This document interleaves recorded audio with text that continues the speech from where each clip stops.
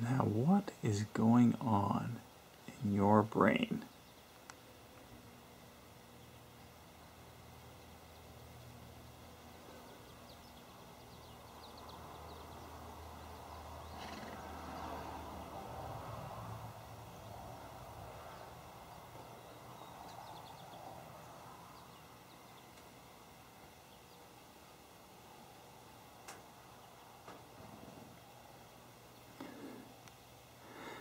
Thirty seconds of a cat that looks like she's about to fall asleep.